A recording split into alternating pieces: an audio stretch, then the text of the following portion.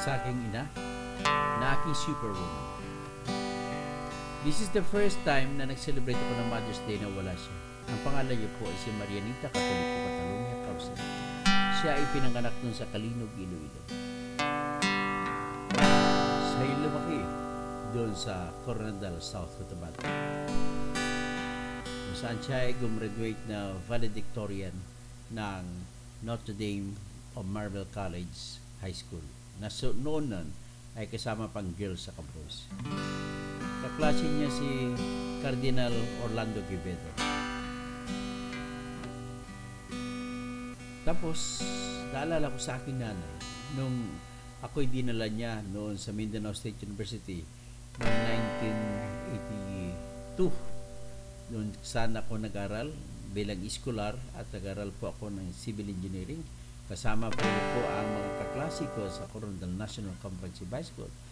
In fact, pinakamalaki na pinakamaraming mga ENCHS graduates sa, sa time ko, 1982, na nag-aral sa Mindanao State University, Marawi. Mama, I miss the day when you are here beside me.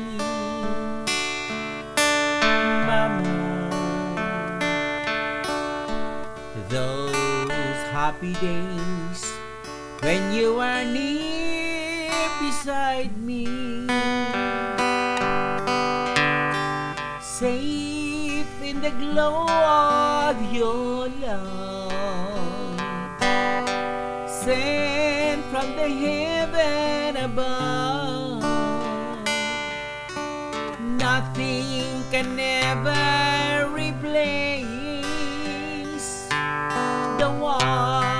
of your tender embrace,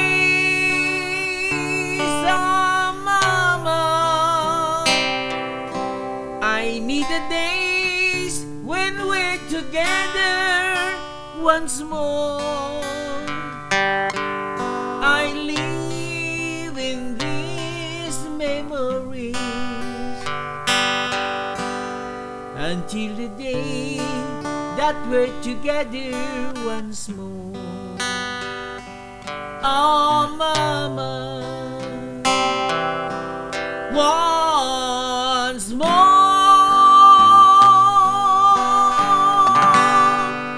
This is the first time na nag-celebrate ako ng Mother's Day na wala yung aking nanay. Namatay po siya noong June 21, 2023. One day after she had to celebrate her 59th wedding anniversary with my father on June 20. Tapos yun, no June 20, nasa ICU siya ng Dr. Arturo Pingwe Memorial Medical Center nung pinadala siya ng tatay ko ng bouquet of flowers. At napakasama pa ang nangyari kasi June 10, 2023 or 11 days ahead namatay ang kapatid ko na si Ratrat Bing Lindil Kausing na board member ng South Cotabato sa sakit na cancer. So, napakasakit sa amin, pamilya, na mawalan ka in a span of 11 days ng dalawa sa membro sa inyong pamilya. So, si Lindel po ay siyang panganay sa mga babae kong kapatid. At earlier that, June, January 13, ay namatay naman ang kapatid kong nurse na si Yugi Marcier Kausing habang nagsisilbi bilang isang nurse doon sa ICU ng COVID hospital doon sa Odessa Memorial Medical Center doon sa Odessa, Texas.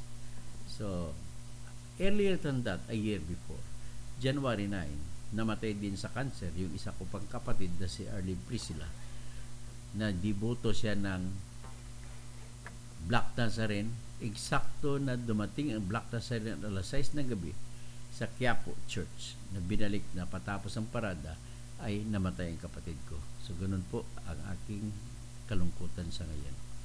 And uh, I hope so, nakamove on na ako. Feeling ko nakamove on na. But I do believe that there is no other way for me. No choice ako, kundi mag-move on at magpakalakas. Kasi po ang success ng tao ay depende sa kanyang emotion.